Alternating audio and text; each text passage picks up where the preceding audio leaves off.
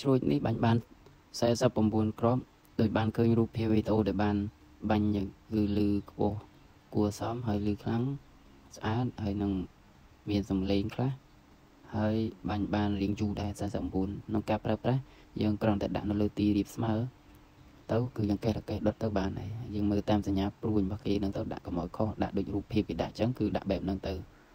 តាមតួអក្សររបស់គេនឹងទៅគឺត្រូវហើយហើយកេះតែកេះដុតហើយដល់ចេញទៅ បើយើងចង់បើយើងខ្លាចដួលយើងយកអីតុបខាងខាងទៅដូចជាឥតដុំថ្មឬក៏អកុលឈើឬអីមួយទៅហើយយើងកេះតែកេះដុតទៅគឺជាការស្រេច